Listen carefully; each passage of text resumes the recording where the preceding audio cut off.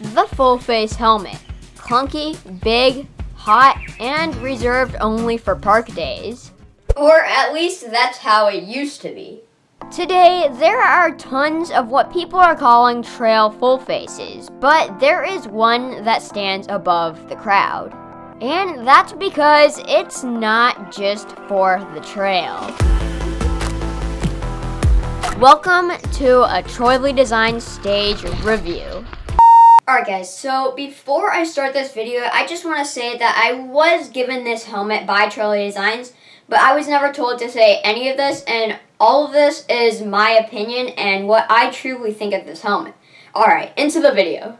Alright, so let's start off this review with talking about what makes this helmet actually usable for the trail. Alright, so first thing that's something that is extremely important is that this helmet is crazy light. Even just compared to your average trail open face helmet, this thing is pretty much the same exact weight. It is crazy and you don't even notice that you have it on when you're riding. Alright, so the second reason that this thing is really good for the trail is how well ventilated this helmet is. It has a whopping total of 24 vents. On a helmet, how do you even fit 24 vents?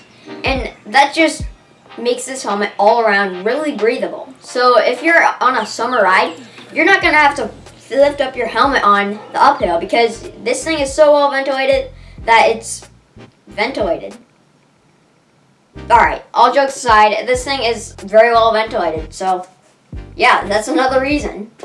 Alright, so the final thing that makes this helmet really good for the trail is how comfortable it is. In fact, this thing is so comfortable that sometimes it can make for some pretty awkward situations when you forget you have it on after your ride and you go through the drive-thru.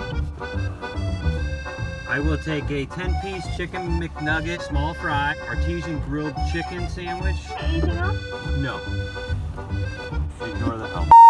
Alright, on a more realistic note about this, one reason that makes this helmet super comfortable is that it actually has interchangeable pads. Tons of them, in fact. So you can get the perfect fit for your head. No matter if you have a head that's like weird, I don't know, whatever your head shape is, this helmet will find a way to fit you. Now, with all of this being said, you're probably thinking to yourself, this helmet is not going to be good for the park. But actually, this helmet is downhill certified and also it has MIPS technology in it. And well, let's just say that I know firsthand from many experiences that this helmet will keep your head safe in a crash. With being good for the trail and for the park, there's obviously going to be one drawback. This helmet comes with a pretty hefty price.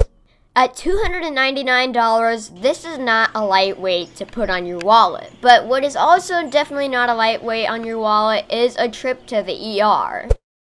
So, in my opinion, if you set your priorities right, this helmet is 100% worth the price. That's pretty much all.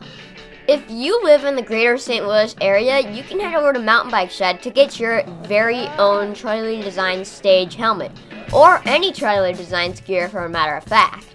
Or if you're not local, try and find a bike shop that sells Troy Lee Designs gear, and you can try one on there because it's always better to get fitted for a helmet in person.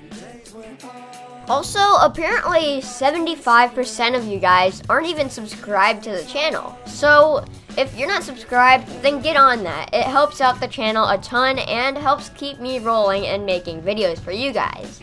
But as always, shred for life. Peace. That was so sick. Yeah.